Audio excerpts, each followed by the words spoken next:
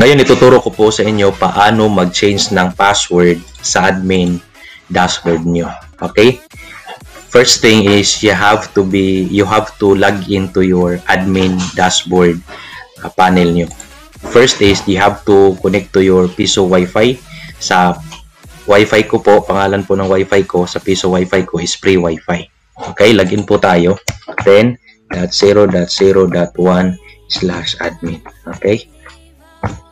Default password po natin is admin tapos yung password is 123456789 okay that default username admin default password 123456789 tapos input po yung niyo po yung captcha. Captcha is E D W J. Okay? Tapos click sign in. Okay yan po na sign in na po tayo. And then Next is, click nyo lang po ito, this one. Ito.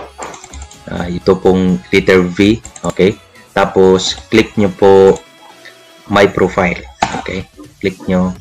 After that one, ito na po yung login details nyo, okay? Show po natin yung password ito, yung admin. Ang yung password sa admin dashboard. Change lang po natin. Change po natin into uh, I love you. Okay? Yan po. Try natin. Okay? Then click save.